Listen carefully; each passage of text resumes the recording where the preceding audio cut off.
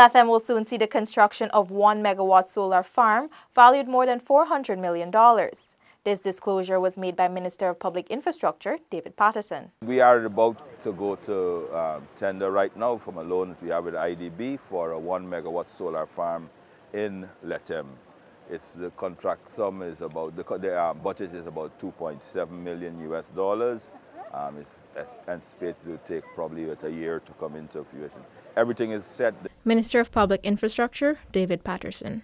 Minister Patterson said the solar farm in Lethem is intended to provide the people with a stable source of electricity by supplementing the use of fossil fuels. He anticipates that within two and a half years' time, Lethem will be fully operable on renewable energy.